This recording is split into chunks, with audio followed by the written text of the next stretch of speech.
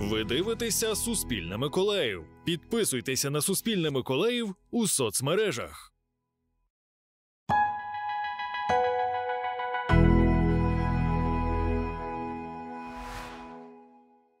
Армія Російської Федерації протягом доби обстрілювала Очаківську та Степівську громади Миколаївської області. Росіяни пограбували згодом знищили магазин шахедами. У Снігурівці підприємець шукає інвесторів, аби відновити власну справу. Російські війська 25 лютого о 17.30 завдали ракетного удару по відкритій території за межами населеного пункту Степівської громади. Загиблих внаслідок атаки немає. Про це повідомив начальник Миколаївської обласної військової адміністрації Віталій Кім у Телеграм.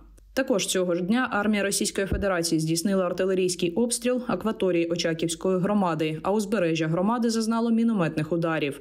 Ніхто не травмувався, повідомили у Миколаївській ОВА. Підприємець Олександр Дібров каже, 31 січня 2024 року запам'ятає надовго. Тоді дізнався, що вночі російські шахеди зруйнували його магазин в Снігурівці. Будівля була двохповерхова, е, перекриття було е, ж- железобетонні плити. Вони всі зруйновані, тому що сюди заходили якраз очаг був шахіди, е, два сюди і два в сторону чуть-чуть. Цей магазин Олександр облаштував на місці автостанції ще в 2007 році. Однак каже, шлях в бізнес був непростим. Якийсь час торгував на ринку. Не постісняюсь цього сказати, навіть мене ніхто не хотів нікуди брати. Тому що ну не було ні практики. Проходжу, стоїть мужчина на ринку і шукає людину. Каже, ну будеш в рупор кричати? Кажу, ну буду, а що робити? Я е, рік кричав в рупор, потім е, почав торгувати уже. Каже, зруйнування магазину внаслідок атаки безпілотників не перші збитки, завдані росіянами. Аби не потрапити під окупацію, чоловік виїжджав. Згадує телефонну розмову з охоронцем магазину в березні 2022-го, коли російські військові вперше зайшли в його заклад. Відкрилися двері, телефон в нього вибили з рук. Е, Його на пол положили. Він розказує, зв'язок у мене з ним перервався, більш зв'язку не було. Вони е, всю ніч по магазину вибирали битову техніку собі, кухонні комбайни, грузили в БТРи. Що не, не подобалось їм, розкидали, е, били прикладами телевізори, які не вміщалися в БТРи, в танки. Говорить, побачене після деокупації Снігурівки в листопаді 2022-го дуже вразило. В магазині стояла вода, тому що криша текла, е, ні вікон, ні дверей. Ну, перві складності це фінансові. Е, Були долги, е, долги, які ніхто не хоче не списувати, не прощати. Зазнали пошкоджень і його будинок та ще один магазин в рідній Новопетрівці. Магазин був е, там теж розграбований, як і тут. Е, Було забрано е, автомобіль Спринтер. Був забраний, другий бус був розбитий. Вони не могли його завести, бо сівший був акумулятор. Вони його просто розрисували в зетки, порозбивали вікна. Російська ж атака шахедами магазину в Снігурівці, хоча й ускладнила торгівлю, проте не зупинила її, каже Олександр.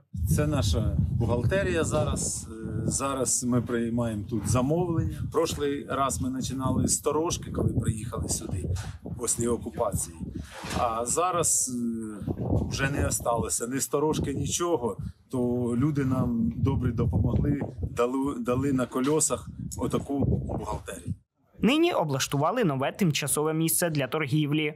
Тиждень тому ми збудували цей МАФ е, завдяки е, воєнної адміністрації е, УКРІ. Наразі шукає інвесторів, які допомогли б відбудувати магазин. каже, не втрачає надії на краще. Назарій Рубаняк, Суспільне новини, Миколаївщина. Виступ артисти розпочали з хвилини мовчання у пам'ять загиблих військових на фронті. За два роки повномасштабної війни гурт не випустив жодної нової пісні та не організував жодного всеукраїнського туру. Проте за цей час всі сили та ресурс вкладали у допомогу Збройним силам України. Пишуть вони на своїй сторінці інстаграм. Хлопці зазначили, що наразі не дають жодних інтерв'ю та коментарів, адже їх позиція більше робити та менше говорити. Я можу сказати, що е, я дуже сильно оцінюю їх роботу з допомоги армії. Жека взагалі в армії служить в Кракені, і ну це справді достойні, достойні сини своєї нації, які всіми силами ну, намагаються наближати перемогу. Я, я дуже сильно тоді е, надихнувся їх кліпом про українське село. І ну і далі вже якось почав слухати, слідкувати.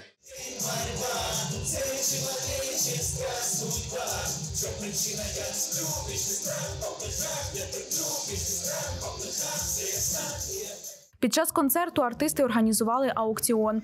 Зібрані гроші курган та агрегат також передадуть на допомогу військам.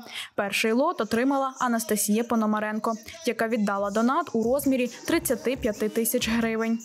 Я стала учасницею і розігрували а, лот найкращого найбільшого фаната кургана агрегата. А, я доєдналася до його лав. Книжка Дмитра Кулеби, книжка з автографом. Тому вона вартувала всіх коштів. З курганним агрегатом я познайомилася вже два роки тому. А вони зразу запали в душу, тому що тому що це курганний агрегат. Я думаю, тут не, не потрібно більше ніяких слів.